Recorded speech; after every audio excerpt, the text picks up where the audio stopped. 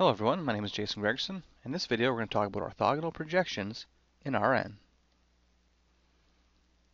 So we've seen so far how to project a vector u onto a line containing the vector v in R2.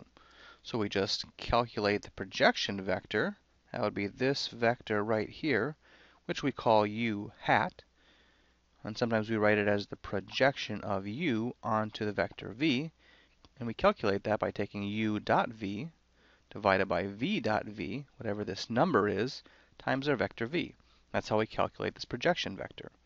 And then we can use that to find a vector that's perpendicular to v, where the sum of u hat and this vector is equal to u.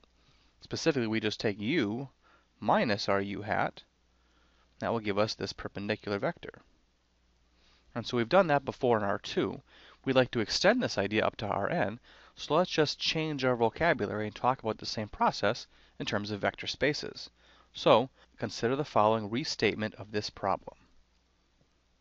Let W equal the set of all vectors such that W is equal to some constant times our vector V. We'll think of this vector space. What is this vector space? It's just the line that contains V. It's a subspace of R2. So and really what we're doing is we're projecting u onto this subspace. And then furthermore, if we take our orthogonal vector u minus u hat as a basis for another vector space, so for instance if we let v equal the set of all vectors such that v is some constant times u minus u hat. So once again, we're taking that perpendicular vector as a basis. Then what is this subspace? Well, this subspace is exactly W perp. It's the orthogonal complement to W.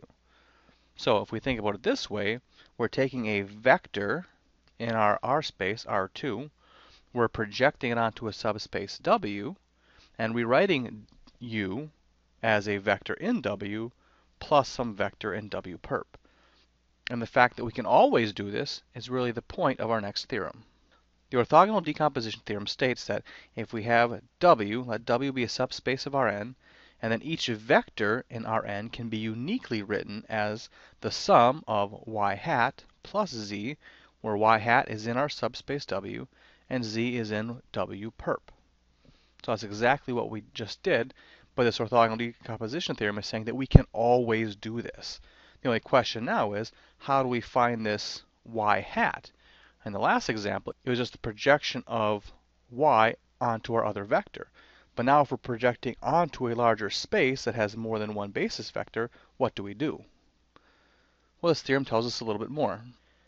It also says that if we have a basis, an orthogonal basis, make sure we have an orthogonal basis for w, then to find this y hat, Instead of just projecting onto one vector, we project onto each of the basis vectors in our orthogonal basis, and we look at that sum. So, what is y hat? It's the projection of y onto each of the basis vectors. So of course we can write out those definitions if we want. This would be y dot u1 over u1 dot u1 plus y dot u2 over u2 dot u2, oops, sorry, this first one is times u1, the second one is times the u2 vector, plus dot dot dot dot dot, plus the projection of y onto up, so that would be y dot up divided by up dot up times the vector up. So if we calculate all those projection vectors, we sum them all up, that will give us y hat. And then of course to find our z, it's just calculating that difference, y minus y hat. All right, so now let's look at a quick example.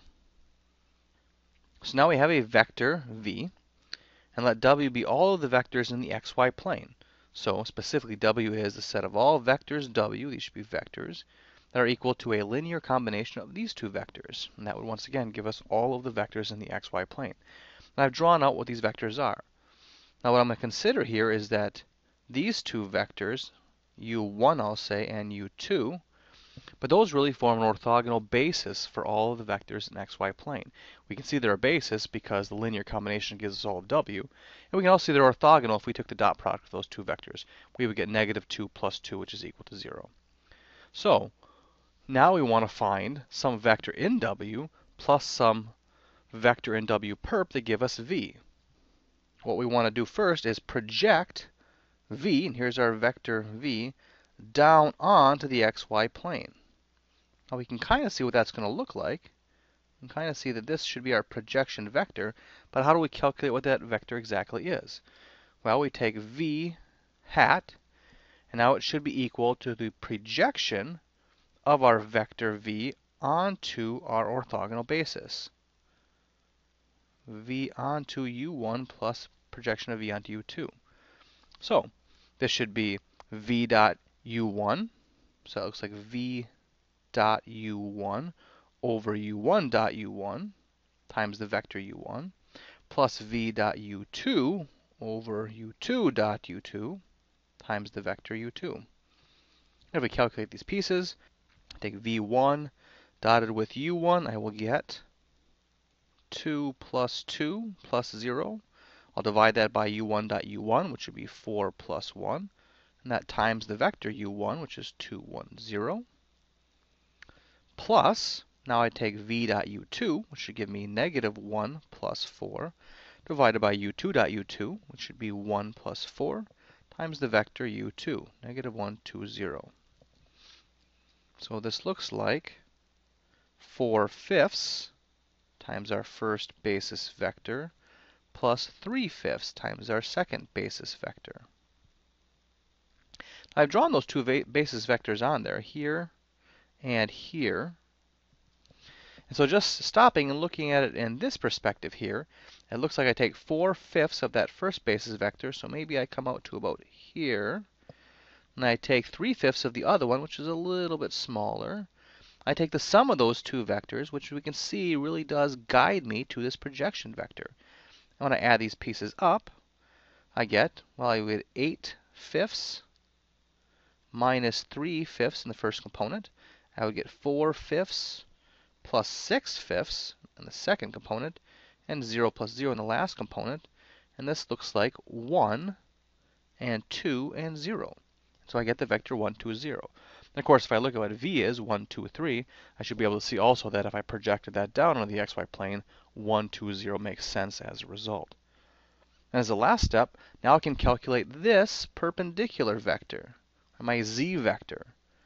Z is going to be just my vector v minus my projection vector. So that is 1, 2, 3 minus the vector 1, 2, 0.